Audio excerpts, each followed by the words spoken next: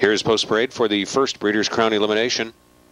Kibitzer Hanover number one is trained and driven by Jim Takter for owner John Fielding.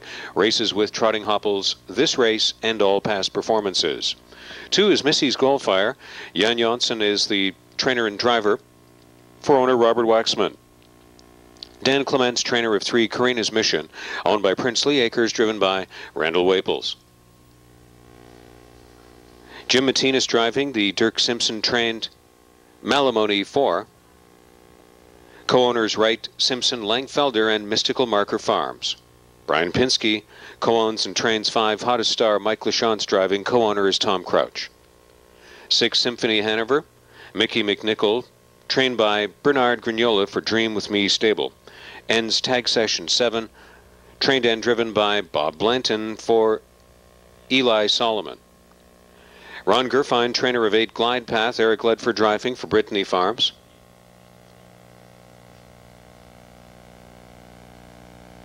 Spankin' New is paraded, number nine with John Campbell, owned and trained by Gary Matches, co-owners Leon Matches and Barry Rubenstein Farms. And Norm Jones is the trainer of 10 Queen of Stormont for Stormont Meadows, driven by Trevor Ritchie. It's the first elimination of the 2001 Breeders' Crown, two-year-old filly trot. The top five finishers to move on to the final under five minutes to post time.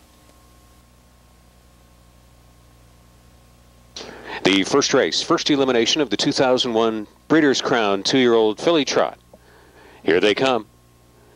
There, off and trotting, gapped out from the field as the gate got away was Malamoni. First surging to the front goes Symphony Hanover. Off stride, Karina's Mission leaving out of there. That's Kibitzer Hanover moving on through. Symphony Hanover way out wide came Queen of Stormont to contest the early tempo, and Missy's Goldfire trotted in from fifth. Glide Path is sixth away. Seventh to the inside for Hottest Star, then ends tag session. Crossing over in the backfield and taking a seat eight was Spankin' New. Karina's Mission has landed back down trotting.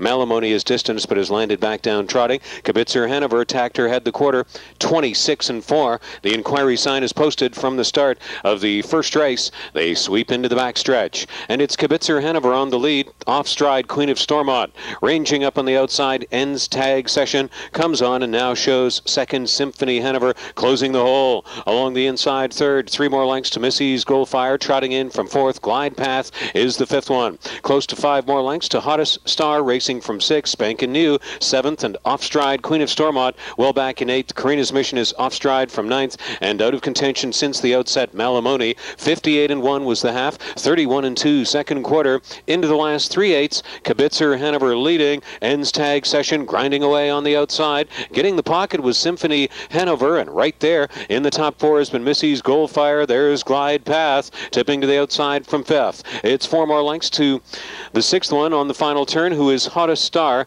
Then after breaks, it's Queen of Stormont on that final turn. Out of contention, Spankin' New, Karina's Mission, and Malamoni. They turned for home off three quarters, 129 and 2. Here's the stretch drive of the first 2001 Crown Elimination. Two-year-old trotting fillies ends tag session first over. Had a brief lead, glide path, and here comes Missy's Goldfire on the far outside. It's glide path taking a short lead and coming down to the wire.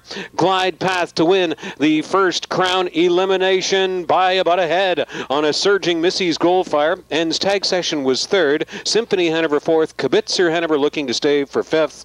Glide Path 159 and 1 with the photo and inquiry signs posted.